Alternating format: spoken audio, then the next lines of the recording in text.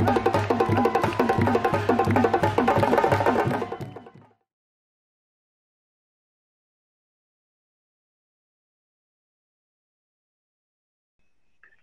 welcome Thank to this you. conversation with the um, New York African Film Festival.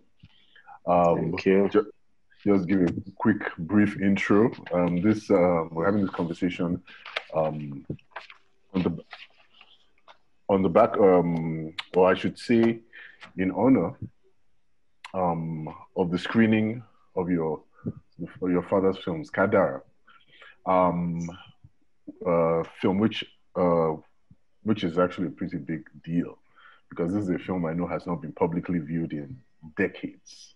Um, and I'll give a little bit more on that. But um, but anyway, my name is Seke Somolu, um, for those watching, and uh, I'm going to be interviewing Kunle Afolayan, the son of the director of the film Kadara, um, who, um, Adeyemi Afolayan, popularly who was popularly known as Ade Love, and uh, who was a pioneer or should, who should, who, uh, well, he was a pioneer and a member of what I like to call the pioneer generation of Nigerian filmmakers, people who are um, active in the 1970s and 1980s.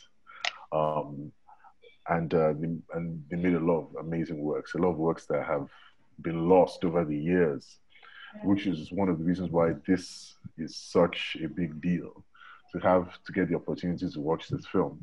Um, and I'm speaking with uh, Kunle, who is an accomplished filmmaker in his own right. He's made such films as The Figurine, October 1, Phone Swap, and the recently released uh, Citation on Netflix. Um, and uh, we're, I'm hoping, I'm, I'm looking forward to having a really, really rich conversation with him today. Uh, so, Kunle, once again, welcome. Yeah, thank Um, you, Seke. Uh, let's just well, we'll just get right into it. Um, just okay, just to give a bit of background um, to those who don't know, um, your father started out in theatre, um, the Yoruba Traveling Theatre, Mm. And like a lot of the luminaries of that um, of that um, theatre movement, people like Hubert Ogunde, uh, people like Baba Sala, um, they migrated, if I can use that word, into the cinema. When, once the, once cinema became a viable option in the 1970s, a lot of them moved from the live. thea- Well, I mean, I guess they continued to do live theater, but they added the cinema Mm. as another way of another form of artistic creative expression. And um, Absolutely. yeah, so um, I, I believe Kadara was your father's. Um, he had made, he had starred in a couple of films before Mm. uh, directed by Ola Balogun. Ija Om- Ominira and uh, Ajani Ogun. Ajani Ogun, yeah. Yeah, in the in the late seventies. But then I believe Kadara was he, this was his the first one he directed personally. Yes. Okay. Um, okay, so let me just kick it off by asking you, um, what, for me, watching this film, I just noticed a lot of, it's very different, obviously, from the films of um, of today, what we call Nolly, you know, Nollywood, but at the same time, there are also a lot of similarities. I noticed a lot of similarities in terms of um, some of the themes, um, some of the the genre elements. You know, you've got you've got your romance, you've got your um, your intrigue. Um, you know, um, I mean, Kadara is kind of set in a pre-modern time. You know, so you've got you know um, in a, village setting, but also a kind of a royal setting. So you've got all that palace Mm. intrigue, and those and we still see those kind of um, narrative tropes in a lot of films today. Um, there's a lot of magic and super, supernatural elements, which is definitely something we still see in a lot of our films. So, Mm. so you know, in a way, it very different, but also very similar.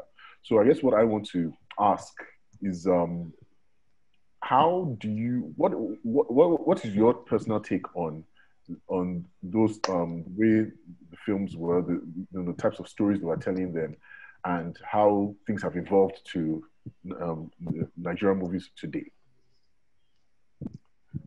Uh, thank you, Seke, for for the opportunity to have this conversation. Um, Uh, first of all, I'll say that uh, there is not much difference in in in the in the type of stories that you know they were telling then and what we're pretty much doing now. Um, especially the Yoruba genre, because even up till now, you have a whole industry, um, uh, which is a sub, I don't know if I should call it subsection of Nollywood, you know, where their focus is just Yoruba language content. And um, majority of the, some of the epic stories that they do are still pretty much set like what we we have in Kadara, you know. Um, and you know what informed all this kind of story basically is just the Yoruba literature. You know, a lot of the stories they tell, you know, um, you know, are informed by uh, most of the folklores that we were told um, growing up.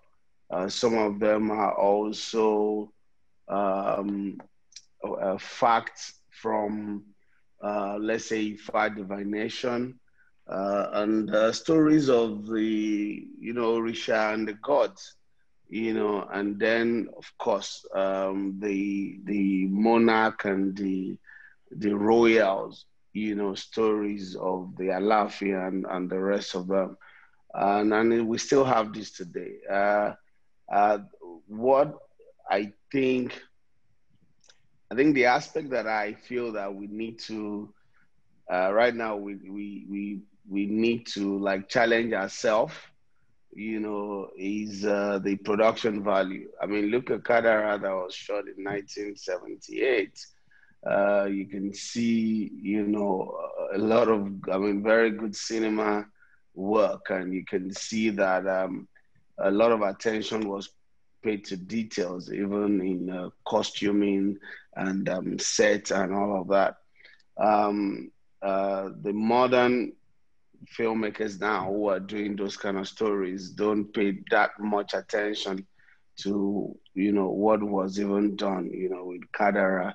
Um, uh, yeah, but uh, like I said, I think most of the stories, the the ones that are told now, uh, and the the most of the ones that the likes of Ade Love and Hubert Ogunde and the rest of them were doing then were informed by, um, you know, um, from mouth to mouth story, and then the Yoruba literature. Um, that that's what I, I I think. Okay. Um, can you talk a bit? I mean, like you said, this film was uh, was shot in late seventies. Um, mm-hmm. I believe it was released in 1980. At least that, that was the. Mm-hmm. yeah, it was. It was released in. Sorry, it was released in 1980. It was um, Ija Ominira that was shot in uh, 1978. Yeah, Kadara was shot in 1980 and it was released in 1980. 81. Yeah.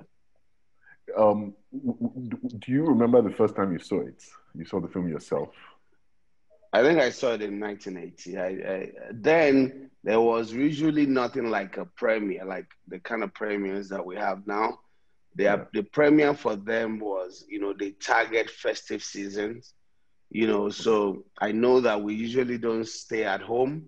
We're never home during Christmas. We're never home during um, all the Muslims holidays, Ileya, Itunu, Idil Fitri, Idil Maulud, all of those period, Easter, you know, yeah. we're never home because that is the big period for filmmakers.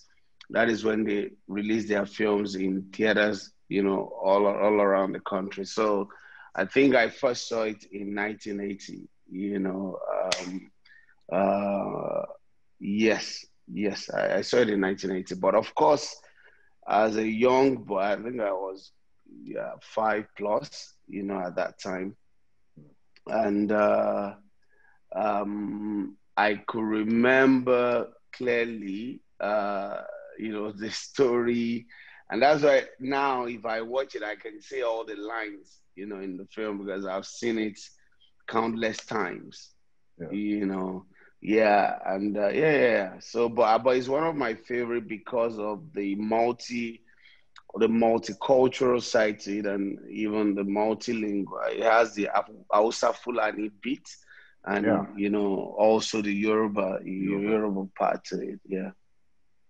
I thought that was I thought that was very interesting. I mean, it's uh, one of the things that ways in which it definitely differs from a lot of the um, films of today, certainly the Yoruba, the Yoruba language films of today, is the fact that there was all these musical sequences. I guess your father was very musical because he he plays the violin, well, the tra- let me say the traditional violin, traditional violin, traditional guitar, traditional guitar. Yeah, and he sings. You know, it's quite musical. He, so he plays flute. Yes. Yeah. Wow. and so yeah, that's definitely something we don't see so much in uh in uh films today. You know that musical mm-hmm. element. Um, but okay, okay, but just to take it back to the film a bit, because um, I talked a bit about because what we are seeing now is effectively a restoration of this movie after yeah. you know that was shot 40 i mean literally 40 years ago um and i and like i mentioned in the introduction a lot of the films from that era truly have been lost because they were shot on celluloid you know and a lot of those old prints were not properly preserved some of them have simply just been you know forgotten in you know mm. God knows maybe somebody's attic, somebody's cellar, somebody's uh, backyard or boys' quarter somewhere. You know, mm. maybe some of these films will turn up, but but the truth is that in our modern era, um, you know, the the era home video, now we're into streaming and all of this. Many of these films are not available to viewers today to watch. Um, yeah. uh, which is one of the reasons why for me it was such a treat to be able to watch this film. Um, mm. So a lot of the films of that era have lost. So please, if you can just walk us through the journey of how did this film that was shot on 35 millimeter. Actually, wait, I'm assuming it's 35. I don't know. Maybe it was six. I think it was shot 30. I know we have 35 prints. We had 35 and 16 prints. I'm not really sure what it was shot on, whether it was 35 or 16, but I know I used to see the 35 and 16 prints. Okay. Okay. So definitely some form of celluloid, you know, 40 years ago. If you can just give us, like, how did you now bring it into, uh, um, how did the, shall I say, the rediscovery and then the restoration process, how did, how did, how did that happen? Okay, well, I mean, um, I think after my father passed in 1996, um, I think we, traveled home to my hometown at some point where they've moved a lot of his things and um, I remember I was going through some of his documents and I found his letter written to him uh, from, I mean, by Box Laboratory in Slough, in London. And um, uh, of course, then I didn't make much of the letter because um, even if I wanted to do anything, there was no way. Uh, I mean, I couldn't do much. I was even, I was still working in the bank at that time you know. Okay. Uh, so uh, so I remember sending an email uh, to the back to Box Laboratory in 2002, and um, I I introduced myself, you know that um, I love someone and that uh, I saw this letter that I would like to know what the status in because I saw that my father never signed it. So and uh, the letter, the content of the letter was that um, he was owing Box Laboratory some money, eight or nine thousand pounds, and they proposed to him that you know they should sell the film, some I mean, rights of the film to Channel Four in UK, and then that way they could get their money back and you know maybe remit some amount to him.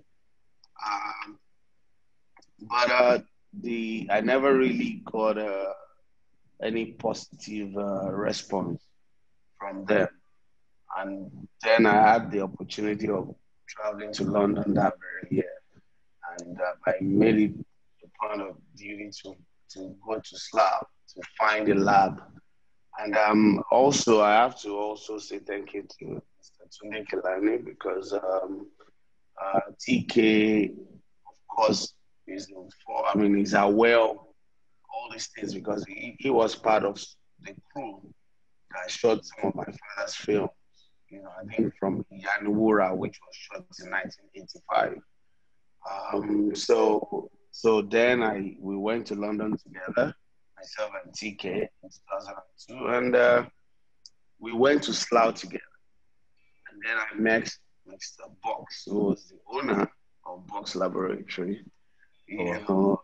know, so and you know he was so delighted to that. Apparently, he was close to my father. You know, during my father's time, and and then he showed me a lot of you, you know, documents. You know, uh, they shared correspondence that they shared. And I said, okay, well, I'm here to take the films, you know, out. So what will it entail to telecine? Because at that time, you know, the technology, you know, they were using was to telecine from from film to digital. Right. And at that time, I think they could only do 1K. Now we have 2K, 3K, 4K, and all of those things. But you know, so then they gave a bill, you know, of what is going to cost to pay the outstanding, then to telecine, to digital, and then make master in digital. Mm. And this well, became, I mean, it was a huge amount of money in pounds. And um, I got back home, presented it to the family, and of course, there was no one who could raise the money. But I kept in touch. I kept in touch with the uh, the lab, and at some point, they sold Box Laboratory to okay. City Lab. Okay. And then um, there's a girl, Dupe Modupe. She's based in London and she's someone who is also very interested in this African film restoration. And uh, you know, I she was also she's been in touch with Box, and then I decided to make her my contact and you know like agent in UK. So whenever I'm not there, she's the one that will go to Box, and then you know go talk to them and see what we can get out. Uh, so not until 2000 and I think 16 is it 2000 and, sorry 2016 or no no no i think it was 2015 or 14 wow. I was able to i mean i, I wrote to lagos state government then and uh, thanks to former governor babatunde raji fashola who then um, you know gave us agreed to like fund the restoration then we were only able to restore three of the films Kadara, Taxi Driver Part 1, and Taxi Driver Part 2. Uh, uh, and then there, there's three outstanding, and that's um, Yaniwura, Golden Mother, um, um, Orogun, The Rivals, and then um, Ija Ominira Fight for Freedom. Um, but I kept in touch with the lab. And um, recently, last year, I was able to to get out Ija Ominira, which was my father's first film, you know, as an independent filmmaker.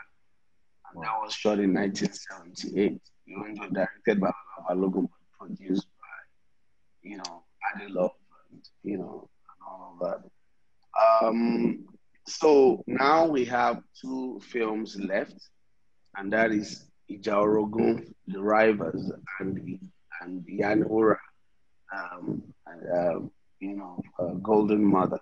Now, the one of the reasons I'm really, I really would love to have these two films is because in those films, my father played twins in the two films. So, you know, and you can imagine that the technology then you know, where, you know, we have one actor played, you know, twins, you know, and um, he's, I don't know how come it's the two films where he played twins that we, uh, because Box, I mean, the lab is saying they, they, they some of the reels are missing, so, uh, so I'm hoping that they find them, but uh, regardless, I have decided that I'm still going to get the prints. I'm just hoping that we're able to get money uh, so that we can remove and, and the ones that we've removed. Yes, I have the digital version in Nigeria, but I still store the, the raw in in a storage in UK. Yeah. So we can always still refer to, you know, the print and um, even the, the, the raw film and sound and everything, you know, I have them all um, stored in, in the UK. So that's that's how we got to. Wow, it's a fant- uh, it's really amazing, uh, and uh, it's, a, it's uh, obviously it has been a long journey mm. to get to this point. You know, um, is there any are there any plans to um, at least the exist the, the films you do have that you have been able to restore, um, Kádàrá and uh, Taxi Drivers one and two.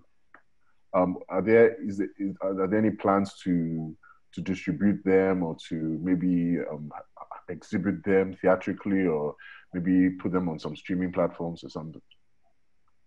Yeah, well, we had my father's uh, remembrance, I think 20 years remembrance some time ago, and uh, we screened in few theaters.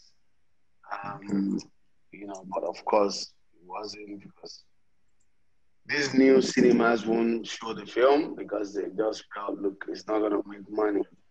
Uh, you know, so we had to do the traditional style booking halls ourselves yeah. and then showing the film, you know, just so that we could use that to honor, you know, our father. But I'm trying to talk to streaming platforms, you know, uh, I mean, to see if they're interested in classic films uh, from from here, and uh, because it would be nice to really have it on, you know, a, a, a, a proper um, streaming platform, you know, to show the journey and where we're coming from, you know, and all of that. So I'm hoping that will happen because uh, I think I want to. I think Netflix at some point should be open. To, so, yeah. Um, one of the things I saw, I thought watching the film was um, it really it, I really got the impression that your father was having a lot of fun doing the movie. you know, um, I mean, and obviously, I mean, yes, in terms of performance, you know, he really, you know, it just looked like he was really into it. But even beyond that, I'm just, you know, trying to imagine him at that time directing this, you know, coming up with all these scenarios and everything you know, it's it's you know, it's it really has that sense of you know, like someone is just really having a good time, just making all this up and okay, let's just do this, let's do this, let's do you know, um, you can, the, the the creativity of it really comes through. Um, do you, um, I mean, obviously it's a long time, but did you get the sense that, and and um, obviously by the time he passed, the industry was shifting. You know, the celluloid era had um, had pretty much died at that point and you know the Nollywood era was just beginning. What what what what do you think? What his views of the way um, cinema was was evolving in Nigeria? Do you think he was fulfilled with the films he had made? And what do you think he thought of you know this video thing that was now emerging at that time? Uh, no, I think he died. Uh, I'm not sure he died a happy man hmm. um, because uh, at some point, you know, in Nigeria, um, all of them in that space, you know, couldn't afford to make films anymore. They couldn't make films on celluloid, and they didn't want to join the video era. So, and um, he was Ogunde was the first, the first president of uh, the um, Association of Nigerian Practitioners, ANTP. And after him was my father. And I remember then they always, Ogunde insisted that he never, he would never do video, you know. Um, and then he would cost out people who were doing video because they believe that it's either celluloid or nothing. Um, and, uh, you know, inflation came, uh, foreign exchange you know, un- unbearable for them. Uh, so they couldn't buy stock because at that time you could only, if you film here, you can only print. You know, I mean, in London, and and I remember in sometime in the early, I think '92 or thereabout, Nigeria Film Corporation set up a lab in Jos, and that was the very time that celluloid died. You know, so I'm not sure if any film was ever processed in that lab. You know, um, but um, I know my father. Um, you know, business was tough because this guy really didn't have any other thing doing. It was just film, and unlike um, you know West Western world where uh, royalties and uh, you know and copyright and all of that, you know, you know was properly set up, and they can even if you die or even if you stop working, you'll be earning from things you've done. In Nigeria, we didn't have any of those kind of structures. You know, so they make film, they earn, they spend. And then, you know, and I saw a lot of letters that, uh, because he, I mean, he, he pretty much used the same model I'm using now, which is, you know, running to banks to get loan to make films. And I saw a lot of letters from First Bank and some other banks, and I'm talking as far back as 70s, you know, where he, he was taking loan to make his films. You know, so um, so at some point he didn't uh, um, they, they I mean the whole thing shut down, especially when video came and um, I know he wasn't happy he wasn't. He wasn't. He was. He's always complaining until he passed. Oh dear. Oh dear. Mm-hmm. What do you think? Um, speaking about like that aspect of the of, Niger- of the Nigerian film industry, like how do you mm. um, I mean, you alluded to it that you you're also kind of in a situation where you know you have to take these loans, you have to do these mm. things. I mean, what do you do? You see a more um, optimistic future in terms of, I guess, the sustainability of uh, the Nigerian film industry, the economic sustainability. Yeah, I, I, do. It's changing now. I mean, it's it's it's not that it's even changing. It's changed. Uh, now that you have okay platform like Netflix coming into commission films and um, you know they, I mean, I mean the commission they'll give you money to make the film, and then you guys agree on rights, who owns what for how long.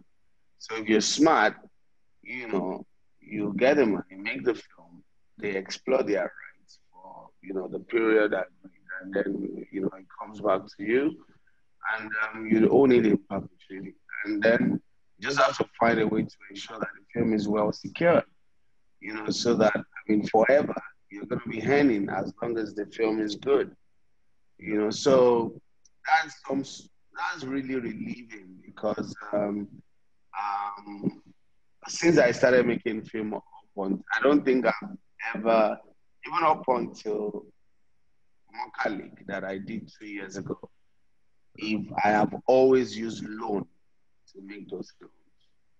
You know, so but now it seemed like the better days here, you know, um, with, with this new, with these platforms coming in.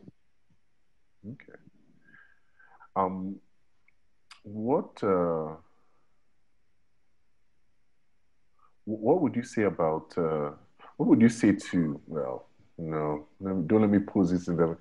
I guess I'm trying to um, one of the things that you and I kind of talked about in an earlier conversation was the fact that today there are lots of young people, you know, including many young filmmakers who don't even know that there was anything before, you know, what we call Nollywood, before the, you know, the home video revolution of the 1990s and onwards. You know, people who don't even know that there, you know, there are these films that existed before, mm. before then.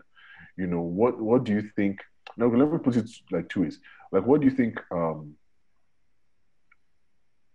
filmmak- um, filmmakers of today, artists of today, um, would have to um, learn from those um, the work of that first that pioneer generation? Um, and uh, are there any and what links can you can you maybe make between the work that was done then and, and the work that we are trying to do now that filmmakers today are trying to do in Nigeria now? So during the EndSARS protesting, I released some clips from Taxi Driver Part 2, my father's film, and um, it went viral. You know, everybody was circulating it, and uh, they were not only circulating it because because I read a lot of comments, not only because it's it's directly you know relate to this the current situation on ground you know about police you know corruption in police system and all of that but also because the the film looks clearer than what they see now. And people were asking how come a film shot as far back as 1987 you know um, is clearer than you know most of the things things that they see now. And um and and i always say to people that look if you see and this is not like out of ego or anything but if you watch october 1 uh, 20 years from now that is how it's going to feel because um, if you put the right production value, if you consider the right production value, um, you know, I mean, story is one thing, but um, um, how you document the story, you know, is another thing. Um, um, I mean, we've seen Scott, uh, uh, Sembène's films, a lot of French films that were shot, you know, back then. If you look at them now and you look at the texture and you look at all of that, you know, they look great. Um, yes, technology, the new technology makes it easier, but I think it also has its, um, you know, side effects because it makes people lazy. And uh, people always look for shortcuts, you know, to achieving things. Um, um, you know, I mean, if you, um, like, several times we'll put uh, uh, like uh, notice out that we're looking for post production, you know, like editor or colorist. Um, and a lot of people will apply claiming that they are colorist or editor. And then I'll have, you know, we'll interview and I'll have them. I say, show me what you've done. And by the time I look at it, I'm like, okay, look, applying presets does not make you a colorist. Right. You can put preset or just paint or make it colorful and all of that. It still does not mean it is right. You know, and that is what I see. And that is why up till now I don't grade my film here. I think that's the only thing I always had to do outside of Nigeria. Um, and the next thing for me is with capacity building. And this is what I think really um, I mean, is key, critical. Um, and another reason why I'm saying that is because, okay, now we're in pre-production about to start another film.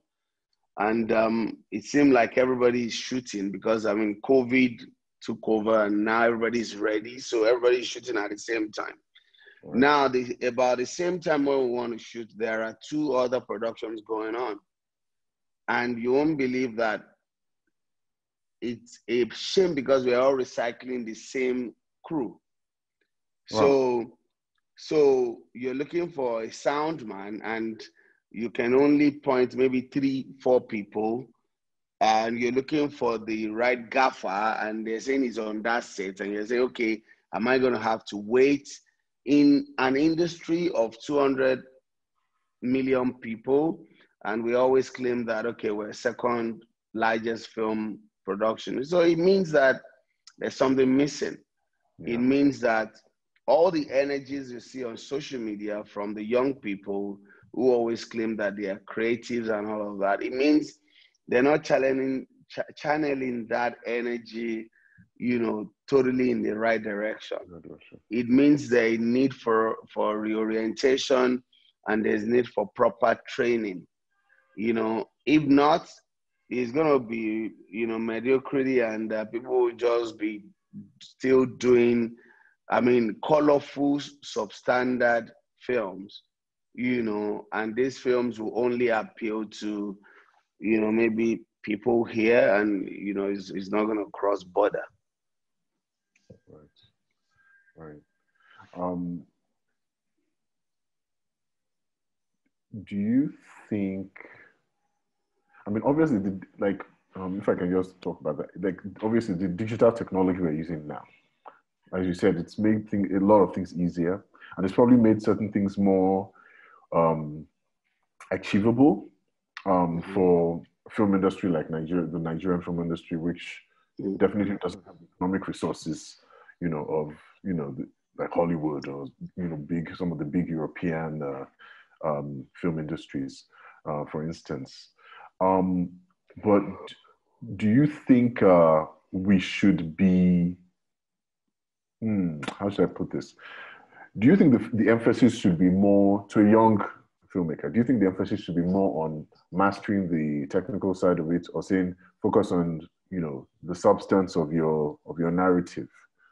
um, or are the two aspects simply inseparable and they just have to try and make everything, you know? And I think they are inseparable because look, if you have great stories mm. and um, your story is amazing, but it's badly shot, um, it limits the number of platforms, distribution platforms that you can get to. As a matter of fact, if you give it to the core people who decide fate of films when it comes to um, getting it, you know, uh, distributed. Once they see five minutes of your film and uh, your sound is up and down, um, you know, your your your filming and angles are wrong, uh, you know, and all of that, they will drop it. You know, I mean, they won't even have the patience to see how great the, the picture. I mean, the story is, right? right? So, but um, if you have a great, if it is cinematically shot and um, you know it looks great, um, they sometimes they get carried away first, you know, because oh they think it looks great, so it, they want to spend more time to watch until they realize it's a shitty story. If it is a shitty story, you know, so so it's important to always strike a balance Mm. You know, don't be too deep into, oh, look, if I don't achieve this shot this way, I'm not going to rest. You know, um, no, no, no. Story is, is, is so important, you know, uh, but standard um, quality picture, um, I mean, sorry, p- picture quality, and um, I mean, decent sound, audio, um, you know, I think is all you need to actually make this magic. Okay, fantastic. If I can stay in a, in a, slightly different direction, I want to talk a little bit about, um, um, I guess the the maybe the um, the social content of um, of your father's film. Um, one of the things I, that struck me um, watching Kadara was that there was it was very what we today would call inclusive. You know, you have uh, prominent fem- feminine uh, female characters, women who are very strong, very you know strong characters, both strong physically, as in you know there are some really interesting fight scenes um, with some of the characters, but also you know, but also just strong you know in, in personality, you know, strong-willed, or opinionated. You know, there's never any sense oh women are second class. No, women mm. are kind of placed in a very prominent position. And I thought that was very progressive, um, considering some of the things we see in some, you know, some of the other, um, some other um, films and stories that have come out of Nigeria, but also mm. some of the, you know, cultural mores and ideas that tend to be promoted, you know, but, you know, you've got very strong female characters. You've also got this multi-ethnic thing. You talked about the fact that, you know, um, um, some of the prominent characters were Hausa Fulani within mm. this uh, Yoruba milieu and they speak their language and their culture is never portrayed as second uh, second mm. class or second rate or you know in any way it's you know they're you know they're all equals and then you've got the um, the the the, um, the character of uh, your father's um, well your the, the character played by your father, his best friend in the film, is a dwarf, and um, Yeah. it's and you know it's it's referred to, it's definitely pointed out, but it's not you know pointed out in a way Yeah, that, not in know, a as an object of mockery or fun yeah. anything. It's just another guy. You know, he too fights, he too makes jokes, he too does every. You know, he's just a, he's just another guy. So that's another thing that really struck me that you know this film, you know, it's 40 years ago, but it was very inclusive, very open-minded. You know, you know, kind of very egalitarian in the way it treated Mm. all different characters, different regardless of you know where they're coming from or their you know their station. So you know what what uh, was that some do, do you think that was something that was conscious that your father was consciously trying to do or was just or was, it just part of who he was that you know he didn't kind of see the difference or see any you know Um, honestly, I really can't speak for him. Uh, but I think one of the, I mean, in, in, in regards to that aspect, but I feel that there's a bit of um, northern influence, you know, eh, you know, uh, uh, I mean, because we're from Kwara, and uh, you know, up till today, some people always think that the, the people from Kwara are Fulani. You know, meanwhile, we are from the typical, they call us Igbo, Igbomina, and we're from the typical Yoruba part of Kwara State. You know, we're, we're from your Oyo, Oyo proper. And if you look at my father's face, he had tribal marks, you know, and those are like core Yoruba form of identity, you know. Um, uh, but um, because he also, I think he was also a market marketing gimmick. Um, because at that time, nothing was happening in the East. There were no cinemas in the East. They don't go to cinemas. But the North and and the West, you know, were the people who were doing and going to cinemas.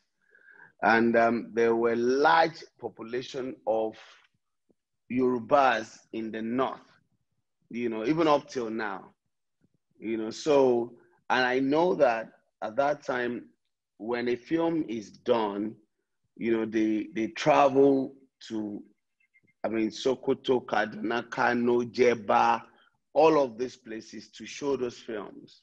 Right. Uh, so, so I think it was also because he wanted those people to feel, have a sense of belonging, you know, so that the people watching are not only the Yorubas in the north. Right. So the northerners, they watch a lot of um, Indian films.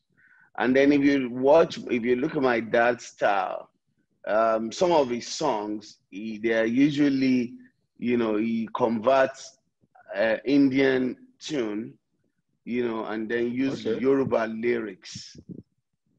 oh, Yes, you know, so so so I've analyzed all of these things, and I figure that look, this man is just being smart. You know, he wants a larger audience, you know, and uh, you know, larger people to appreciate, and he just wanted to cut across. You know, I mean, uh, he wanted to appeal to more people, not just the Yorubas, but you know, even people in that in that side.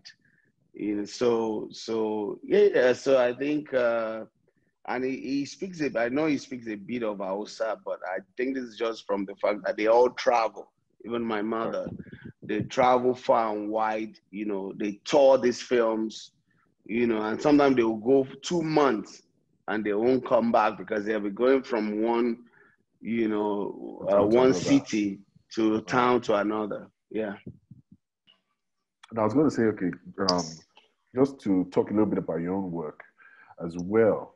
Um, well, okay, well, I'll ask you, I guess, the obvious question, which is, uh, are, are there any influences from your father's work in yours?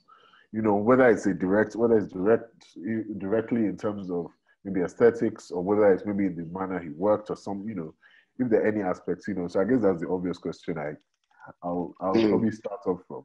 But mm-hmm. beyond that, um, I guess uh, I, I also, I'm also curious to know what uh, you know what your plans are in terms of um, specifically in terms of the kind of films that you want to you you know you want to make um, because you, I know you've made so many films. You you know you've made period dramas. You've made uh, kind of a, a, thriller slash horror with the figurine. You've made romantic comedy.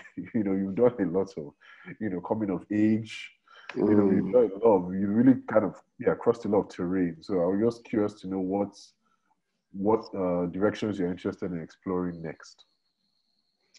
Okay, uh, in regards to my father, I think, um, I mean, he wasn't around when I started. I mean, and then he, even when he was around, he, he didn't encourage that we go into the same thing. He, he's always discouraging it because he's always saying there's no money in it. That um, you know, that we should go to school and become a doctor because he said, you know, this that there's no money in film. Um, but at that time, I think I was when I was privileged to be on some of the sets. I didn't. I never thought I was going to end up being, you know, a, a filmmaker. Um, uh, not until not until after my father passed, and then it was Nollywood, and I started seeing some sort of decay, and that's what I call it, because I then started comparing what my father and the likes were doing. I was comparing it to what people were doing then in the nineties, and I'm like, no, this, you know, I've been on my father's sets before where they spent almost two months filming. And then, you know, in the early 90s, people would shoot a whole film in three days. And I'm like, ah, well, I mean, how, what's, what's going on? And then when you, of course, when you look at the output, you can you see that huge difference, you know, in the whole thing. So, so I started saying, I think I can make better film. You know, I mean, you know, I, at least I can be in between the my father's era and then this new era you know um and then i will look at the stories i'll look at the acting and i'm like no how come? I mean the actors then were more passionate you know they were so passionate you know and then production value was huge. So i mean i honestly that was why i i said to myself that look i think i can do this thing better you know and then um, and then I went to TK. You know, it was the first person I went to in uh, I think 1990, 1997. My father died in 1996. So I went to TK in 1997. I said, Sir, I'd like to make film. And he said, Who are you to want to make film? That that your father was a filmmaker does not make you a filmmaker. He said, You don't inherit filmmaking, you learn it. you know, he said, You can, he said, But acting, of course, you can do acting and all of that because you have good face for it. But film, you have to study it. I said, Okay, sir. You know, I said, But you can start as, a, as an actor. Um, if we have anything, we'll let you know. And then in 2008, I'm sorry, in 19, 1998, when they wanted to do Saworoide, they now asked that I come for audition. And I went, and then I was picked, you know, for that role.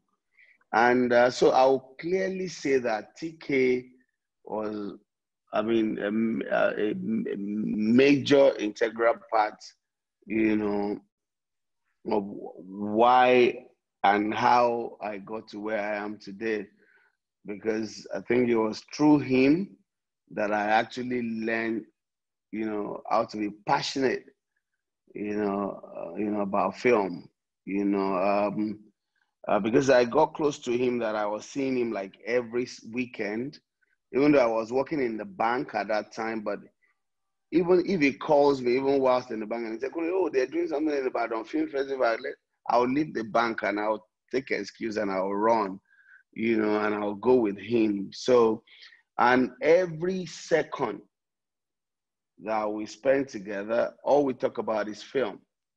Mm. You know, you can't really teach people how to direct. You can't say this is how to direct. So TK never really, I don't think there was any time he ever said to me, this is how to direct. But from the conversation, I picked what I want to pick. You know, sometimes I'll invite him to my house and then I'll cook and we just watch film from morning to night. We can watch three films Indian films, American films, you know. So these were things that I was doing with him, you know. And then I'll see him on, uh, you know, front cover of film, International Film Festival uh, program. And I'm like, how come this man is the only one that goes to festival? You know, especially after the likes of my father, because I know my father went to a lot of festivals. But after my father's era, it was TK. And I'm like, okay, well, you know, I want I want to go to festivals, you know. And then I'll ask him question and he started, so so that was it. And then I worked in the bank in 2004. I just said, look, okay, I'm not doing this bank thing again. And then I I went to film school, you know, just to brush up my idea and understanding of film. Came back and the rest is history today. Fantastic. Mm. So um, so as to the your next move in terms of you know where you know because like I said, you've tried it, you've done a lot of things. Not just tried, you've done a lot. You've done a lot of genres, a lot of moods. Mm-hmm. What what are the things that you still want to explore cinematically? No, I'm still going to be doing different genre. I'm already in pre-production. I mean, I'm done with citation. I'm shooting another film in January, which is an adaptation of a book, and um, and um, I have like four fil- four scripts locked to be shot between now and the next four years. So if I'm alive, I'm just gonna be having fun shooting film, and you know, yeah. Fantastic, fantastic. Well, we're looking forward to seeing the films and um, the work still to be shot. And um, and looking forward, I'm personally looking forward to seeing one of your father's films. I hope we, you know, we have a chance, uh, maybe in a future festival, we'll get you know a chance to see Taxi Driver one and two, and um, you know, keep our fingers crossed that you know you're able to restore the other outstanding films um, mm. and uh, yeah, looking forward to seeing all that too. So no, those are some of the things. You know, we have uh, like our studio now. Um, is is like a mini cultural center. Uh, okay. So within the hub, we're going to have a 120 seater cinema, and wow. um, we're also going to have like a small sound stage, a bar, restaurant. So we're going to be curating films. We're going to be doing movie nights. You know, uh, then you know live band night you know on the mainland you know. So these are so we'll be watching classic films you know uh, you know whichever. It doesn't have to be just my father's. Any film that you know has been restored you know we'll bring it. So there will be a lot you know of such an opportunity to also see those films. Fantastic. Fantastic. Mm-hmm. we're looking forward to it. Thank, thank you, you so much Aaron. Thank you, Seke. Thanks so much for having me.